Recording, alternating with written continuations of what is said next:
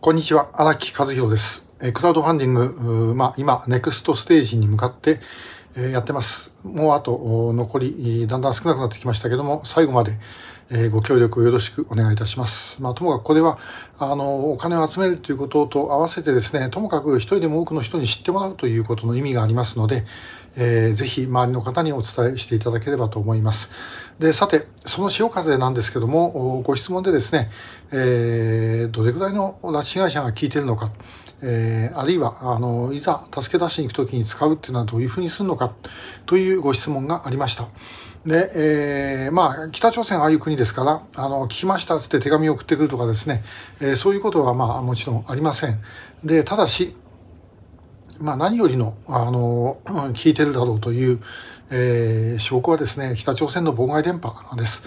え北朝鮮はもうずっと潮風に妨害電波を流し続けてきています。これは潮風を始めた2005年の翌年からですね、流し続けているんですね。ですからまあこれ北朝鮮にとって電力ってものすごい重要です。で、あの、前にもちょっとお見せしたと思いますが、え夜間の衛星写真でですね、見ると、中国と韓国は、あの、もう高校と光が灯ってるわけですけども、北朝鮮は、もう平壌の周辺にちょこっとだけですね、えーうっすらと光があるというぐらいで、あとはほとんど光は見えないという電気のない社会です。そこの中で、え妨害電波を発信するためには膨大な電力いるんですね。えーそれをやるということはいかに向こう側が聞かせたくないかということだろうというふうに思います。えーまあ、それをですね、えーまあ、ともかく、ある意味で言うと視聴率の代わりというような感じで我々考えています。で、えー実際にですね、あのー拉致被害者が見たという話もあります。えそれは、あのー斉藤博さん、えー稚内で、え失踪した高校生ですが、この斉藤さんはまあ向こうにいることは間違いないと思うんですけども、その斉藤さんが、え自分の名前を呼んでる放送があるっていうことをですね、え周りの人に漏らして、で、それで処罰されたという話がありました。これも潮風のですね、実は送信を始めて間もなくの時期、えーと、2005年の11月だったかそれぐらいの話があのありました。えーまた、あの、潮風の紅葉はですね、もう一つ別のがあって、えーこれ短波放送ですから、世界中で聞こえるんですね。で、それを聞いて、また、あの、情報を送ってくれたりとか、そういうこともあるということです。で、さて、えーで、えーもういざという時にどう使うかということなんですが、いざという時には潮風は24時間連続で放送、今は3時間半ですけども、24時間ぶっ通しの放送ができることになっています。その準備もしています。で、そうなった場合には、あまず、もう拉致被害者の方々、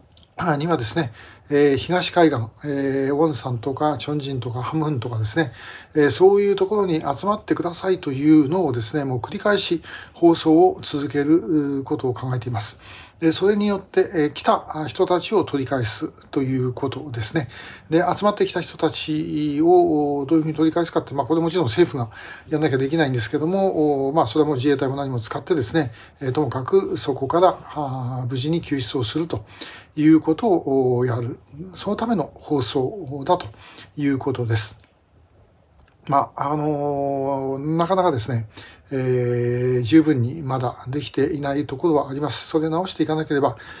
いけないんですけども、やはりですね、もうともかく継続して、これをですね、やり続けるということが、やがて成功を導き出すのではないだろうかと思います。潮風は、今はあの、KDDI の山田送信所から、もう全部国内から電波出してますけども、スタートの時は、イギリスの BBC の系列の送信会社、ここに依頼してですね、第三国からの送信をやっておりました。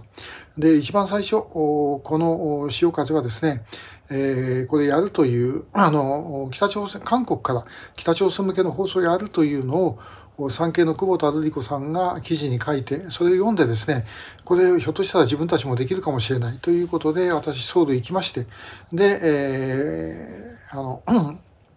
自由北韓放送のキム・ソンミンさんに話を聞いて、そしてその会社を紹介してもらってですね、で、イギリスへ飛んで、そして契約をいたしました。契約した時に向こうのですね、担当者から言われました。この放送一体何人ぐらいの人が聞くと思いますか？というふうに聞かれたんですね。で、私答えました。一人でもいいんですと。ね、一人でも拉致被害者がこの放送を聞いてくれれば、それで意味があるというふうに申し上げたことを覚えています。えー、ともかくできることを全てやっていきたい。我々は別にこの潮風だけではなくて、えー、ファックスも送ってますし、それから、あの、風船のビラも送ってます。そしてまた、USB などによる情報の投入も行っているところです。えー、もうどっかで必ずそれをですね、キャッチしていただける拉致被害者の方がおられると思います。引き続き頑張りますので、ご協力をよろしくお願いいたします。今日もありがとうございました。